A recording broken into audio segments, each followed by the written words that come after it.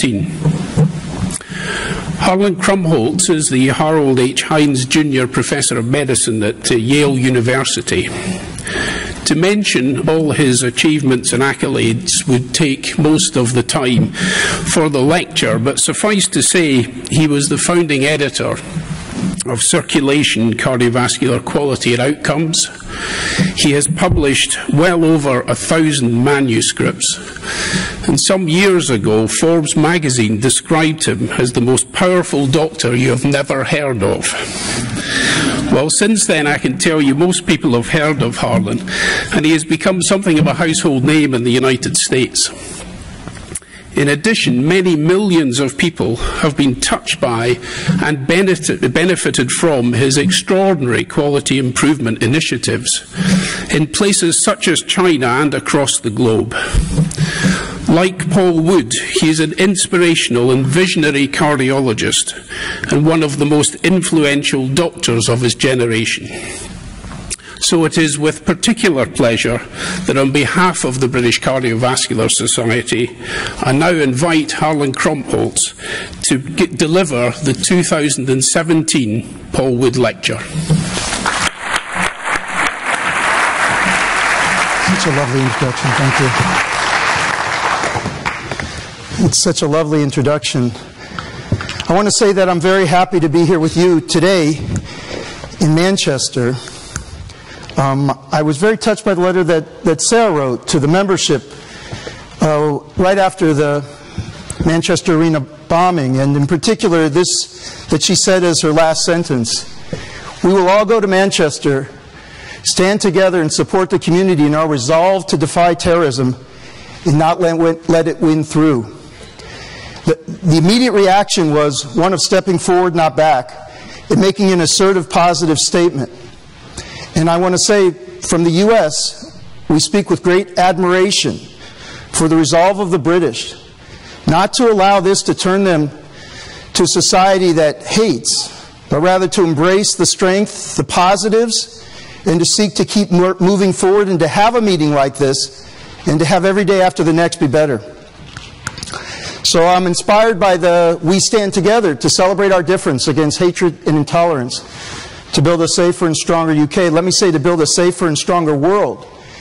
And I believe that we as physicians have a special responsibility to be role models around this in the areas of intolerance, in supporting a positive stance toward the way in which society can be as we fight through some of these difficult periods. And I'm proud to be a, a, a physician and caregiver Nurses, all of us together as healthcare professionals have, I believe, a special role at this time. Not just to tend the sick, but to heal society. So I wanted to tell you about my special connection with uh, the UK. When I graduated from college and before I went to medical school, I had this notion of going around the world and looking at the way in which rural health care was being delivered. I, I, I, wasn't like I had a lot of hubris or anything, but I, I, had this idea. And they had these traveling fellowships at my college you could apply to and say, in the traveling fellowships when they're named, you could make a proposal of what you wanted to do. And then if they found it to be worthy, they would fund you to travel and study something. And so I applied with this idea that I wanted to study the way in which rural health care was delivered in different countries. And I was turned down to the four traveling fellowships. But one of the faculty members took, took mercy on me and thought that it was an interesting idea and was able to scrape up some money, so we created our own traveling fellowship. And the first place that I came was to the UK in 1981. Uh, this is 1981 London. And, and I soon discovered the things I loved about the UK. Uh, McVitie's biscuits were the, the, the, very best, especially the ones with chocolate on the top. I can't believe how many of those I went through. Uh, free admission to the museums, a, a, brilliant idea. And for someone like me without much money, it, it was a godsend. And, uh, and as even I was beginning my fledgling career, I discovered the British bookstores. In particular, I found myself going to the medical areas and discovering that the most wonderful medical books were from the UK. And particularly, there were these books that had questions in them. I, I don't know if you are, had seen these, that, that, there were so many of them, and you could just flip through and test yourself and learn things. I don't know. For me, it was a wonder. But, but the reason I came here was to follow around general practitioners. And so, believe it or not, what I did was I sent a bunch of letters to general practitioners. I got a list and I sent letters to general practitioners and I said, I'm a recent graduate. I'm interested in the way in which general practitioners deliver care. Could I come and visit you? I mean, that is just, when I think about it now, a wild thing to do. And so many of these general practitioners wrote me back and said, Welcome, welcome, you can come. And it took me all around the, the country. And as far away as, uh, anyone know where this is? Is Tarbert in Isle of Harris. So I, I, was I was going and people would welcome me, and I would sit across from them in their uh, and watch them deliver care. And uh, just to prove to you I was actually there, that's not photoshopped in. And, and this is on the Isle of Harris, actually. And and I fell in love with British physicians. I, I, the way in which they cared for the patients, the way in which they listened. At that time, they had these little, sort of almost cardboard cards that had, because these each had like two or three thousand people that they were taking care of, and they could flip through the deck, and they knew them each very personally, and were caring for them in ways that were also not just medical, but but sociological. I mean, they were a fabric of the community, and it taught me so much about what it meant to be a committed physician and what that physician could mean for a community and what the physician could mean for the, the patient and the dignity of the profession. I mean, it, it, there wasn't a person I met that that didn't come through to me uh, so clearly. So it, it, always gave me, a, it was a four and a half months that I, I spent here going around the country and on those visits, and it's something which has stuck with me my, my entire life. Uh, I also had a mentor, Kanu Chatterjee, who trained at St. George's, and uh, he was the um, epitome of a British physician. Calm, thoughtful, precise, with the most extraordinary physical examination skills you could ever imagine, and the most incisive, incisive memory, and the ability to put together a case in a way that was magic. And uh, it, we always knew that Chatterjee had acquired these skills while in the UK, and he would talk fondly of it. And I just at least wanted to honor him also. He passed away recently, but was a giant in the US and a gift from the UK, uh, really. Born in Calcutta, uh, Calcutta at that time. I, I put this up here because I'm going to go back to it. This is what Chatterjee's notes would look like. And we would always take it for granted that that was the gold standard. I, I, I, swear, this is almost like an exact replica of a Chatterjee note on the physical examination. And we always wondered sort of where, where did that come from? So I want to come down to Paul Wood for, for a second, because Paul Wood, I'm honored to be the Paul Wood lecturer. This is a special honor uh, as I learned more about him. But I realized that he was the original data scientist. So when John Cam uh, uh wrote up a piece about uh, Wood, he said this was his application to become a cardiologist. He wrote this piece. I have a scheme. The open sesame to success in London is in the bowels of the hospital, in the storeroom. All those old notes of all the old patients with x-rays and electrocardiograms. These notes are a gold mine. They ought to be analyzed. It would be a three-year job. I shall know more about hearts than most people. I shall be a heart specialist. I love hearts. I don't know about the last, that's amazing. But but you'll see the connection to what I'm going to talk about today. The notion that in our everyday experience lies the fuel for evidence generation that has, even today, not as tapped as it should be, and, and lies the secrets that we need in order to care for each one of our patients. And I thought it was interesting that, that Wood would say that. These are some of the notes that were in that article and others. Actually, in the first Paul Wood lecture, a lot of these were shown and um, in tribute to him, but just to show how data oriented he was. But there's also, if you notice here, this is actually Paul Wood's note on the physical examination that I put by Chatterjee's because I, I, I, swear they're exact replicas. And uh, I thought, well, this is just a lineage because people were taught to listen carefully, to take that kind of note, to be precise, not just as they do in the States, say, you know, no murmurs heard, or there's worse that we do. You know, we, we're, we don't discipline ourselves to say, what exactly did you hear and where? And uh, yet, this is, seems like Paul Wood was done in through, uh, through Chatterjee. So, the, the, I know that was an extended preface, but this is a, a distinct honor for me to be here, and I wanted to share some of those thoughts with you. So, here's the problem I want to pose to you. I believe that the current medical research enterprise cannot keep pace with the information needs of patients, clinicians, administrators, and policymakers. Every day we're confronted with settings for which the data that do exist are, are not directly relevant. They do not inform us. They put us in a position of speculating to a great extent, and we have a wide variety of opinions about what the right thing to do is and a paucity of evidence to support us in our beliefs. Any survey of the guidelines will show you that most of the, even the guideline recommendations still end up being expert opinion. And yet our capabilities continue to expand every day, and we're left in the dark on most of the things that, that we have to do. I assert to you that medicine, now more than ever, is an information science, and we need to start thinking of it that way. And increasingly, it will be a digital information science. It's providing the accelerant that we need in order to get in a position where we can truly harvest systematically the kind of information that that Wood would have had to go to the basement in the bowels of the hospital and spend three years searching for, we will now be able to do in a flash of an instant, be able to have access to that. The question is, will we be wise enough to learn from it? And will we be able to integrate in an approach that makes us better than we were before? Because it's going to be data to analysis to application, but here's where the outcomes research question gets raised. Are we better off? More data, even more evidence, may not necessarily put us in a better position. It's going to be up to us to iterate to determine at the end of the day, are our patients doing better because of what we're what we're trying to produce? Is the this new age actually helping us be better doctors? Is it helping our patients achieve better outcomes? Because like anything, this era has the potential for unintended adverse consequences like any other era. So it's going to be about whether we are smart enough to proceed. So I've been writing a bit about this, uh, and you're welcome to read some of the things.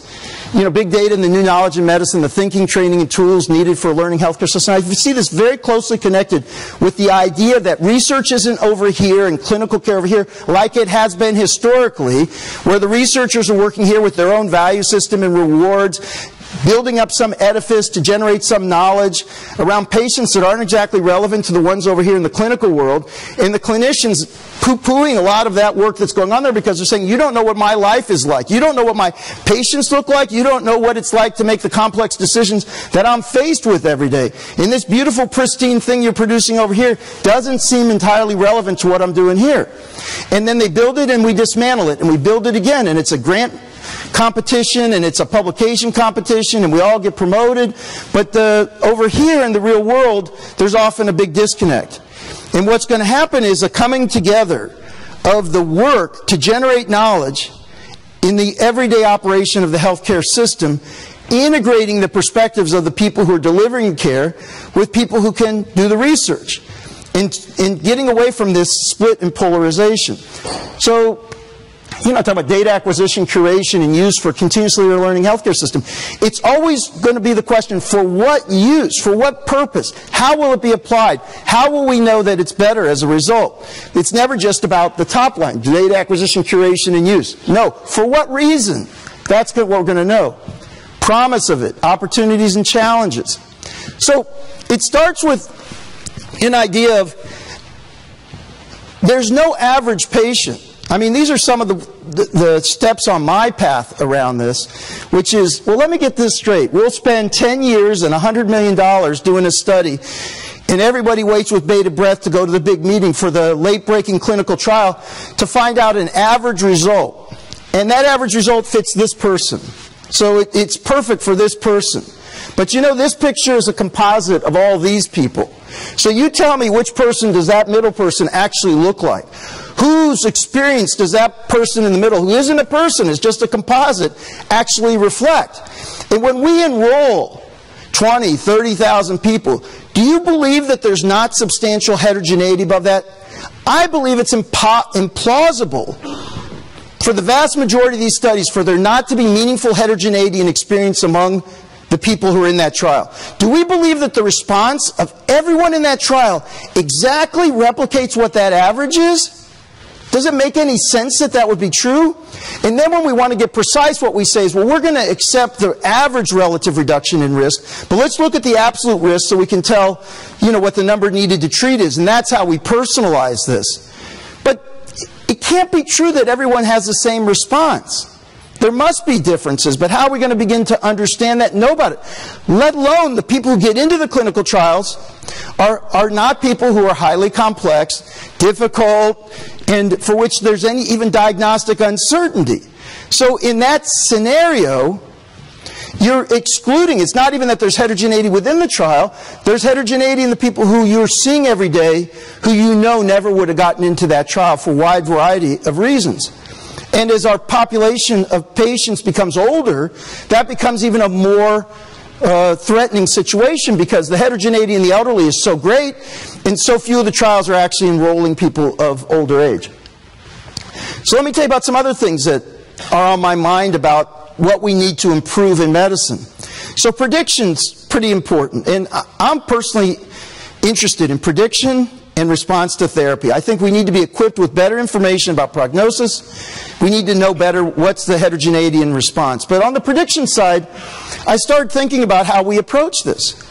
So, predicting at one year. You know, what we do is we take a time zero at the beginning.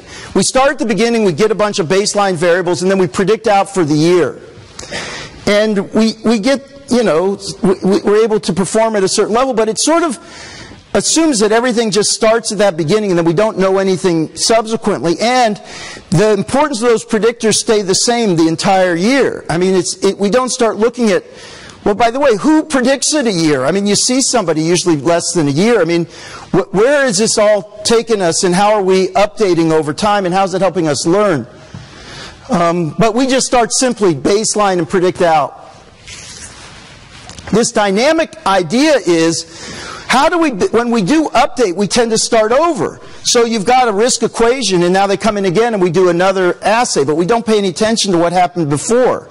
And we don't update and say, when this happens, that we need to be able to be thinking in more complex ways than just an initial measurement at baseline. And, um, and then also when we predict these composite endpoints, we pretend like the predictors are the same for all components of the endpoint. So what I we discovered about MACE is it's convenient that you can increase the number of endpoints in a trial, but you know that that for example, blood pressure has a very different relationship with CAD than it does with stroke. So once you start combining all these things together, the predictors are different, the relationship between the thing you're modifying is different, and you, we end up, the point is we end up simplifying beyond common sense. And be, as a result, we're left with less information than we would have otherwise.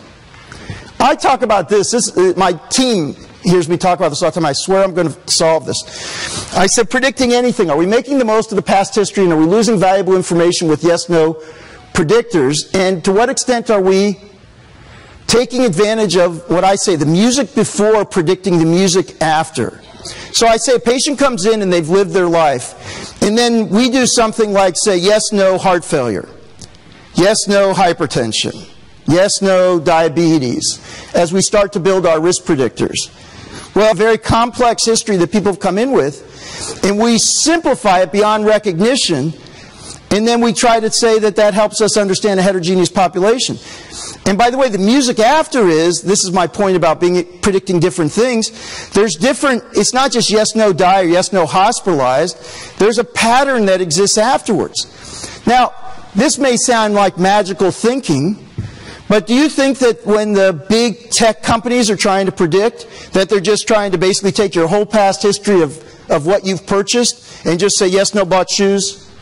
You know, yes, no, bought a hat? You know, do you think that they somehow are capable of taking into account the high dimensional, complex information about your behavior? And do you think they just predict forward, yes, likely to buy a hat? No, they know what size, play, when, where. Amazon has an algorithm that says they can start shipping before you buy it because they know so well what you're going to buy. You, so when I'm telling you music before, music after, understand the patterns. I'm just trying to get us where Amazon was maybe five years ago, if not a decade ago. I'm saying it's time for medicine to wake up and say, we are in a new era. To what extent are we leveraging this era for the future of the profession?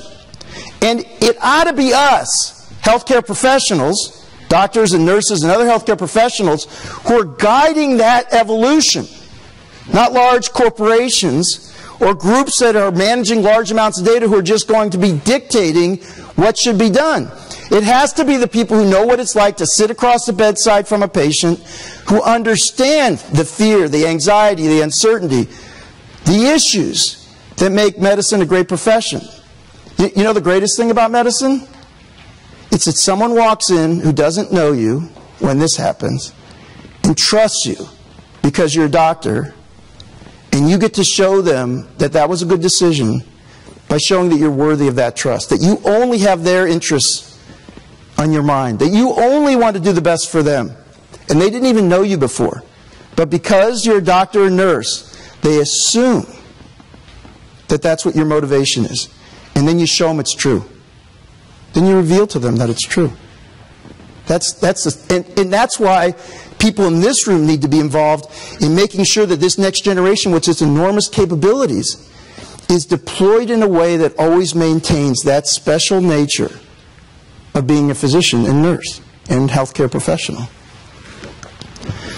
The other thing that bothers me about the prediction is we don't take it into account when the confluence of events occur. We all know as healthcare professionals that when three things occur at once that can be a harbinger of a terrible outcome, it's very different than if they occur individually.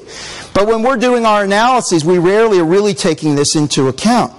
And you know that there must be many situations. I, I, put up here the enzyme. It's like, you know, you can reduce the activation energy for problems when more than one thing exists together. That analogy of it's not just singularly adding to risk, but that there are certain toxic actors that when they occur together put people at particular, you know, particular risk of harm.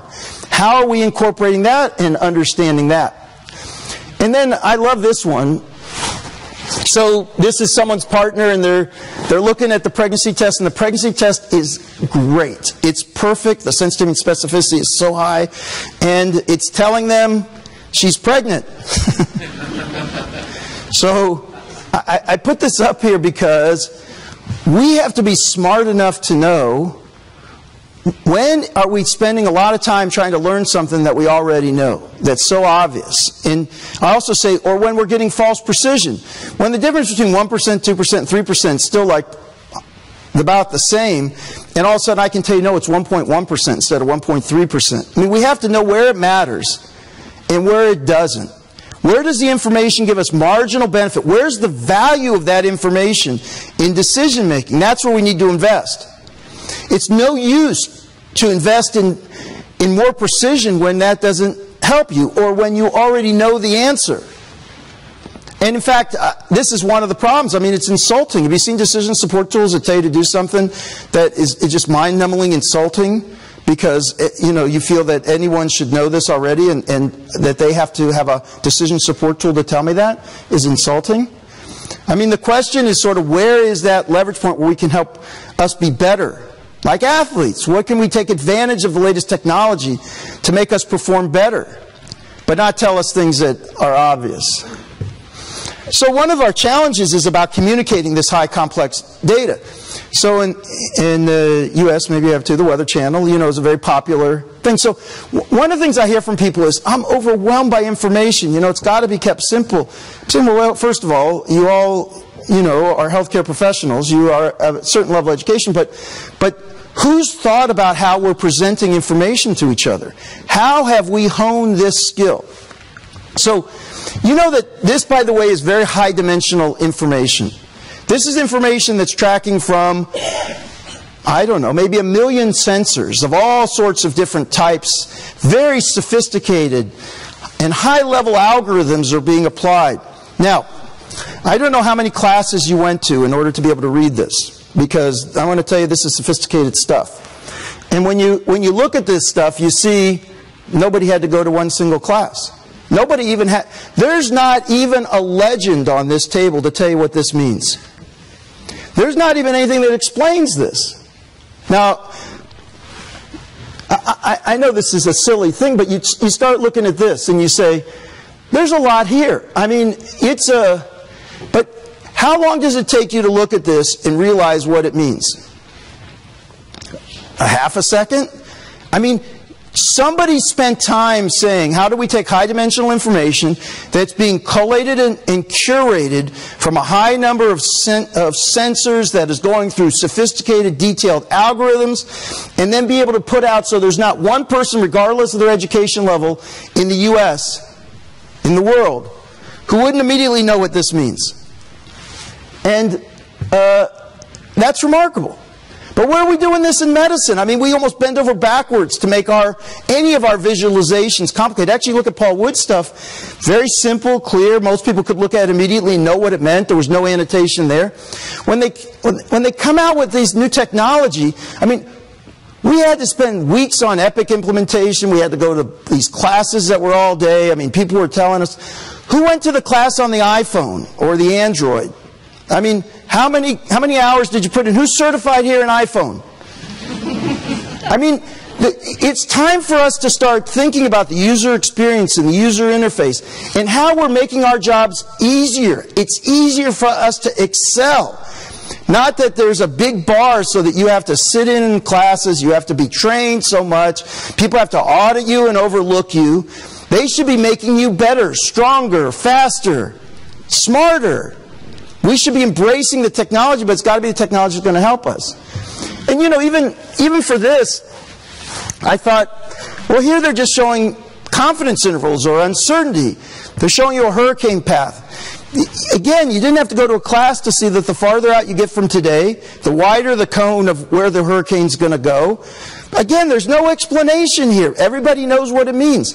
It's because there's been time spent in saying we can make it easy to interpret data that's high dimensional, complex, coming from multiple sensors, running through all many algorithms, but we can make the end user see something that they can immediately understand and, and uh, process. Now, I, I couldn't resist showing this one because it's the same thing with driving. So, you know that uh, in order to pick up information on traffic, thousands of sensors. I mean, I used to think it was just the phone. I really, I started studying this. It's amazing the number of sensors that are watching the, the traffic. Now, detailed information, highly complex, large amounts of algorithms, a lot of uncertainty. All this stuff is going on at one time. Now, I know the general public will never figure this out. So we probably ought to get experts in so they can tell people things, or I, I don't know what, how we're going to do this. Well, I don't know who was trained on this map, but this anyone certified in this? You know, it's like it was just made to be intuitive. So that you all of that back end stuff was going on, but it made it so we could make intelligent choices about driving. We knew what, how long it's going to take. We knew where there's a traffic jam. They're using colors. Nobody had to say, no one has a legend here what green means. Nobody has a legend here what red means. Like, I don't know who taught that. I mean, just for some reason, everyone knows it.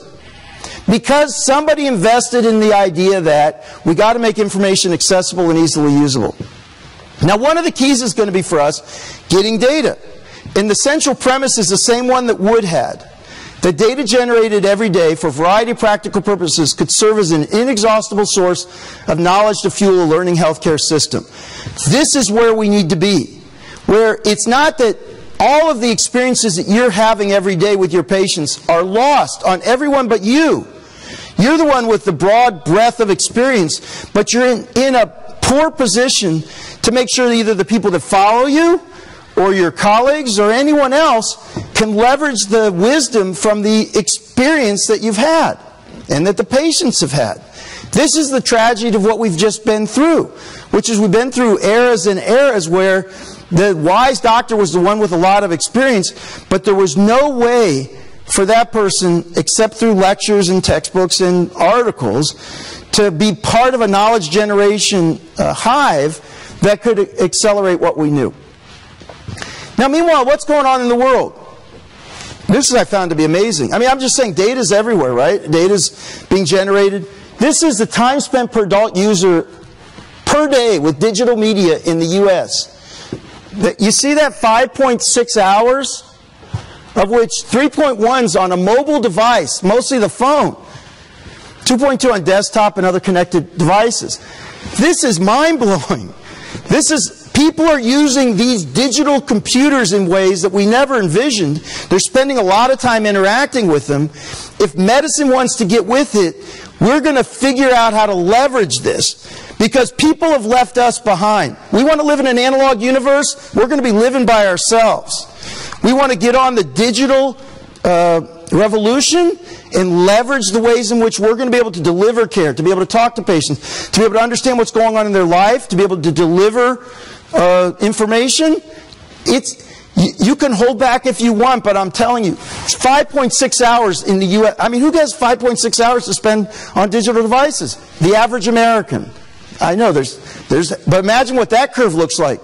There's some people are at zero, so some people are spending a hell of a lot more time on their digital devices. Smartphone adoption, uh, even among seniors, has nearly quadrupled in the last five years. All adults, you're at 90%. But even among seniors, you're at 67%. Two thirds have smartphones. And over time, everyone's going to be having access to these digital devices. And this, this headline was tech use is especially limited among those age 75 and up. Really? Uh, limited was for those 75 to 79, 60% use the internet. For those 80 and older, 44% are using the internet. Own a smartphone, you're still at 31% for 75 to 79 year olds, and you're at 17% for 80 year olds. And as time moves on, and the ones who are 65 start getting into the older age group, I mean, you, you know where this is going. We know where this is going. So the question is, are we as a profession going to be able to, to leverage that movement? How about this? Intercom conversation started global. You know, when you call these companies and you have this sort of intercom thing where people are asking questions and, you know, hi, Jennifer, they're asking something, somebody, it worked, thanks. And she's going, yes, great. I mean, we are afraid of this in medicine. We're afraid for the ability to rapidly communicate, answer questions, get people's problems solved like this. By the way, in the U.S., we hardly have the financial incentive to do this. I mean, in the UK, there's, there are more incentives, but who's going to solve this problem where we can figure out when someone's got a question that can be answered like this, that we can find places to meet the patients where they are so they don't have to come where we are. I can tell you that decentralization is one of the mega trends in medicine. How are we being smart enough to do that? I, will get to something more about it. I don't know if you know about this Peloton thing. So people are buying these bikes and they're getting a TV screen in front of them who's, in, who's individually coaching a class of people who are distributed. But in their home, they're part of a virtual class. Not only that, the Peloton machine is collecting information about their exercise, their duration, their speed, their strength. How much do you have to jump to start thinking about what this application might be for cardiac rehab? Or a wide variety of other applications. How do we drive down the price? This is an expensive uh, device at this point. But but where, I'm just trying to stimulate, where are we going with this? How are we going to meet people where they are? How are we going to leverage this? The amount of information that this would generate that could be available at a clinic visit or a virtual clinic visit that would help you understand the progress somebody is making uh, could be astounding. AI voice activated home assistants. You don't think that this isn't going to be a big trend where now even older people are going to be able to ask questions, get input data. In other words, be asked questions about their functions and symptoms. The Google machine learning word accuracy is just about the same as humans at this point. And so we're in a different phase. People are no longer needing to type. Actually, 70% of the requests made to the Google Assistant are, are, conversational language now. People talk into their phone and ask a question. And then it either does a Google search or you can ask Siri or, or any of the other voice assistants on your mobile device. This, again, is where the world is going. The question is, what are we doing to ensure that within medicine it's safe, it's appropriate, it's, it's in people's interest? How are we integrating it into practice? In the U.S., doctors are largely demoralized. Why? Because they've become drones and clerks, slaves of the electronic health record. Instead of taking charge, standing up and envisioning what the future of the profession should be, and being part of the excitement of reinventing the way in which the entire infrastructure should be constructed. What is an office visit after all? What are we really trying to accomplish? How are we leveraging this information and meeting people where they are? The Echo, by the way, already in this short period of time, is, has a great adoption, so the others. Wearable sensors are another thing, which, you know, there were these articles in there saying that they can commonly uh, be misleading, but the question is, are they directionally correct? How much precision do you need? Do I need to know exactly how many steps somebody took? Or do I need to know that they're walking? I mean, it's up to us to kind of be able to sort of say, when can the less expensive strategy get us the information that's good enough for us to be able to have a conversation with patients in ways that we haven't been able to do before? And this is only going to expand. The number of devices, patches, tattoos, all sorts of things. And we're going to need to decide where is it just frivolous and where is it critically important information that helps us change our minds about what needs to go on. And similarly, you're going to see new devices, ultrasound devices that are going to go to phones. But the mother lode is the electronic health record. And in the U.S., something amazing happened when we put $50 billion on the table as incentive for hospitals to convert from analog paper into an electronic health record. A funny thing happened. They all did. They all did. And what we did stupidly in the U.S. was we didn't, we clinicians didn't hold hands and say, we want to set the rules. Great, U.S., you want to distribute $50 billion to get to full integration? Because look, in 2009, 2008, only 10% have a basic EHR. 2015, 83% have basic. We're, we're almost now full penetration in any major center has got an electronic health record. But we clinicians didn't exert ourselves and say, but here are the rules. In order for anyone to get paid, you've got to have X, Y, and Z that protects the interests of patients and is usable. It doesn't mean that our eyes have to be typing all the time. I mean, we, we lost an opportunity that we should not lose again. But this has created great opportunities. And these, this is an article appeared in the New England Journal from our government, lots of people, a lot of government agencies, talking about transforming evidence generation to support health and healthcare decisions that was leveraging this whole idea. And, and also the idea that patients can have control of their healthcare record. I'll, I'll go on. So, in, in concert with this is largely a concern that people's healthcare records will be used for nefarious purposes. And so that we tend to tighten up the restrictions on who gets to use them. But the truth is, patients should have access to their own records. And then we should try to figure out how we can be worthy of having them share them with us to generate knowledge and improve their care.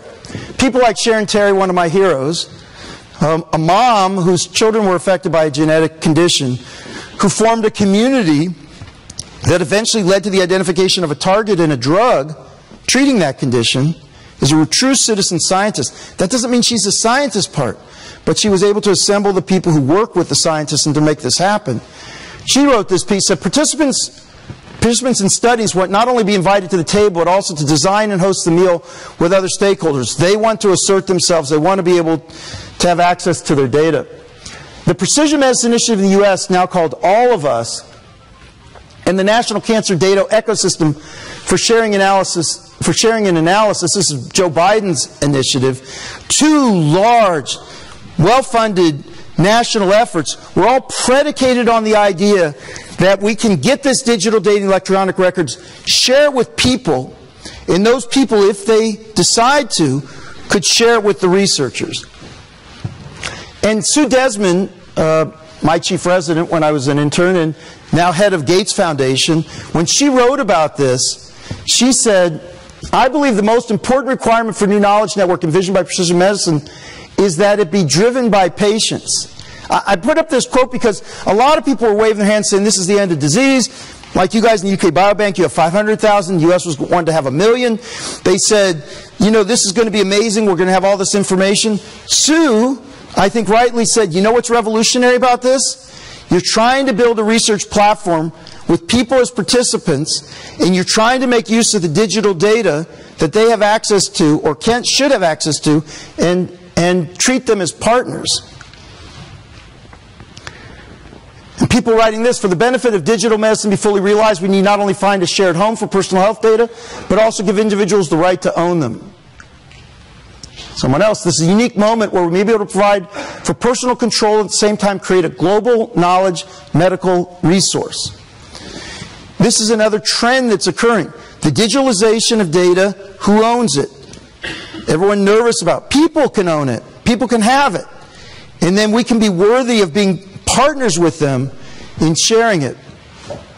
In the U.S., patients' rights are well levered. Uh, we can leverage well-established principle that an individual should have access rights to data and information in his or her health record. We can fight about who actually owns it. I said the word own. But in the U.S., what we've said is we're not sure who owns it. But we sure as heck are sure about who should have access to it, the person.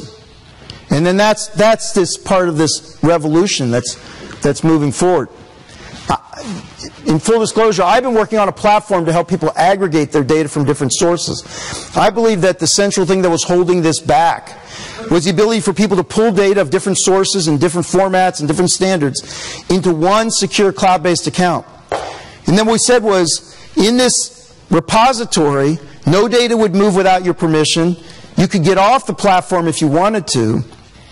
And it's up to you if you want to share. Totally up to you.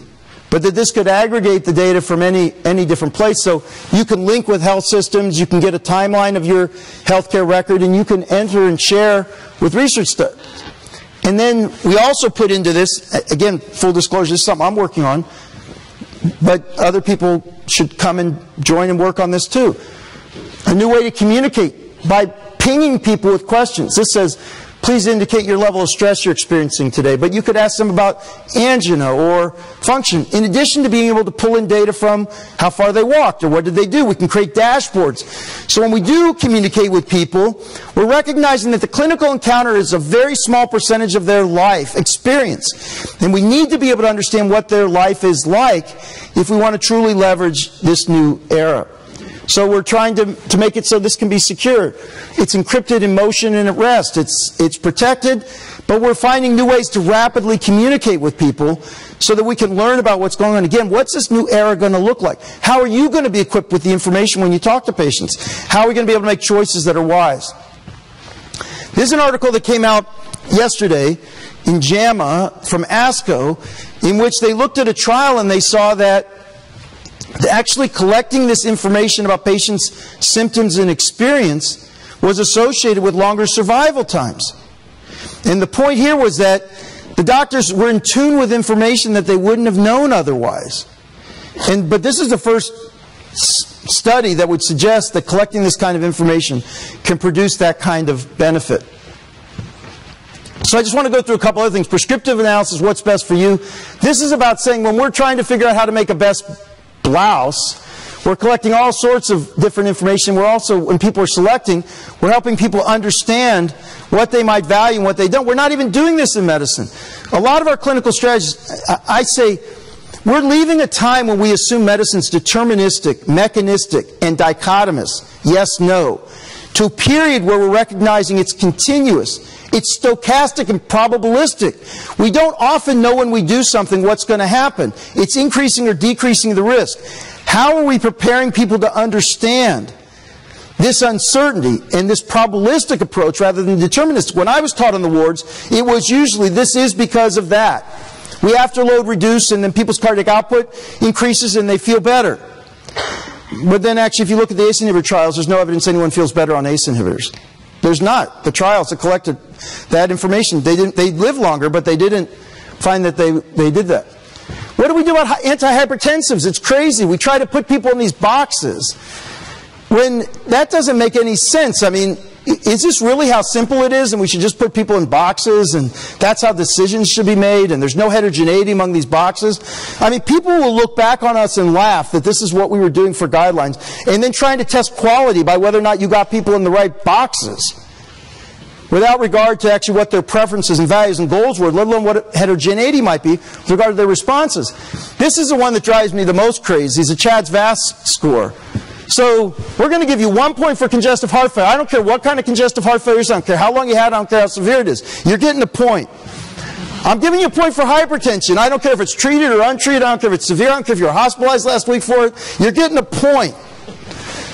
And diabetes, same thing. I don't care if you're on insulin, not on insulin, you're diet controlled, you, you, you used to have diabetes. You had diabetes, you're getting a point. And, and not only that, if you're a woman, you're getting a point. you know, because all women are higher risk. All of them deserve a point. There's no difference among women. They're all a point. And I mean, and, and also it assumes that being at high risk for some set of these characteristics is the same as being high risk for some of the others. I mean, is it plausible that being high risk because you're elderly is different than being high risk because you're 40 and have like three of these? I mean, what kind of heterogeneity is it likely to be? And all we do is like, well, we need a quality indicator. If you had a high CHA2DS2-VASc and you weren't, I mean, this doesn't, we can do better than this. We can do a lot better than this. And, and computational phenotyping, I mean, you know, when we look to animals, we actually try to make distinctions. And, but, you know, how many types of heart failure or diabetes are? These are some diffusion maps we're making of characteristics of patients. Every dot's a patient. We're trying to look in high dimensional ways to understand this. But two types of diabetes, or I think most of the heart failure with preserved systolic function are failures because we're mixing a lot of heterogeneous patients together who have different mechanisms underlying pathophysiology. And when you mush them all together and you give them a single treatment, we can't figure out who the responders are. There's likely to be responders somewhere, but the trials fail because we've just mixed a bunch of people. Some probably don't even have heart failure. And, and because of our inclusion criteria. And th these are just ways we're trying to use some of this high dimensional mapping. But in the end, it's about we're looking at this. But the truth is, it looks like something like this. Because we've created labels 100 years ago that we cling to as a way to help us understand underlying pathophysiology and, and risk and response. But we ought to let go of them because they're not really serving us well because the labels we have still have such underlying heterogeneity that when we're seeing people in practice, they just don't quite fit. They, they fit okay, but not great. And, and where are we going to start moving forward with actually classifications that, that make sense? And now we've got the computer power to do it. And you know, I say, Khosla said, technology replaces 80% of what doctors do. There's a lot of 80%, there's 80% of what doctors do that I wish technology would take over. Because we, we want to do the fun stuff, the smart stuff that really taps our training. And we want to get rid of all the reflexive stuff. I will tell you one thing, you, you guys got this DeepMind Health. I can't wait to see what this thing, you gave all your data over to Google. They better do something good with it since you did it. But I'm curious about that. Um, you know about this, right? Everybody knows about this. Who voted for that? Maybe they'll do something good. But, it, you know, we're also vectorizing the lots of high-dimensional computational data. But I like this one. This is the best use of this stuff. These convolutional neural nets can actually do as well as a dermatologist for diagnosing melanoma. Why wouldn't we want to use this if it takes everybody can essentially get the same assessment as the world's leading dermatologists? This is where we have to run to say, like, we shouldn't be afraid of this. It's not threatening to us. If actually we can use this for visual images, then we should take advantage of it. Just like ultimately for us with heart sounds. It may be that we have an algorithm that helps process the information from the sounds in the chest, and it'll no longer be that the very best cardiologist had the very best ears for most of their life and could hear things that nobody else could hear.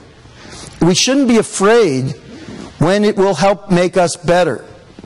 There's plenty of stuff for us to do. We need to be the guide for the patient. We need to be able to provide and help them with judgment, align the preferences, values, and goals. We need to be do things that no machine will ever do. But the degree to which it can help us, we should embrace it. And, and, we've been working on this too with analysis of machine learning techniques for heart failure readmissions. We think we can improve a lot of the predictions. The question is, does it matter in the end? So right now we're still in the early R&D to see can you improve it. But similarly, we're asking how much better is it and does it make a difference?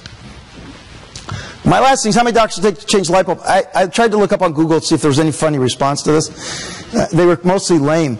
But, but I will tell you another piece of it is how many patients can a cardiologist take care of? In the UK, you guys are much better at this than we are in the US. But we should all know what's the optimal number.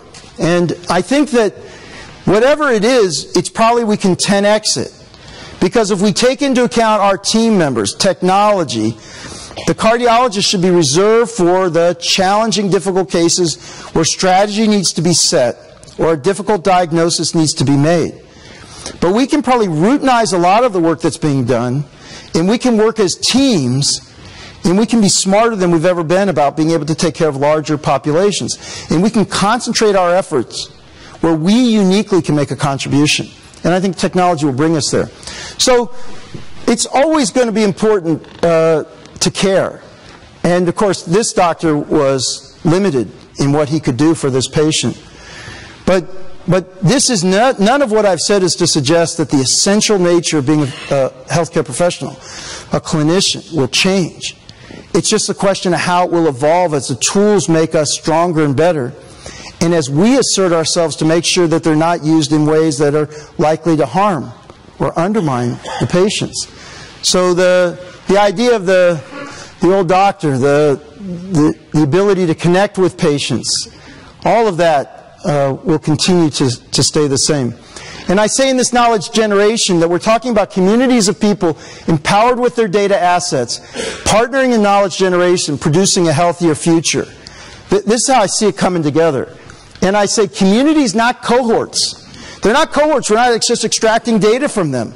They're in partnership with us as, our, as patients and as participants in knowledge generation. Participants and partners, not subjects. Frictionless digital real-time data flow, not episodic brute force data collection. Rapid A-B testing, which I didn't talk a lot about, but I see as a new way of adaptive trials. Rapid A-B testing, not large, cumbersome clinical trials. Modern technology-enabled research, not clunky, outdated techniques. It's time to start thinking about not just following the way we've always done it, but to say what is likely to be the best way going forward. For a lot of the, those of you who are trainees and just starting in cardiology, I say there's never been a more exciting time to be part of this field.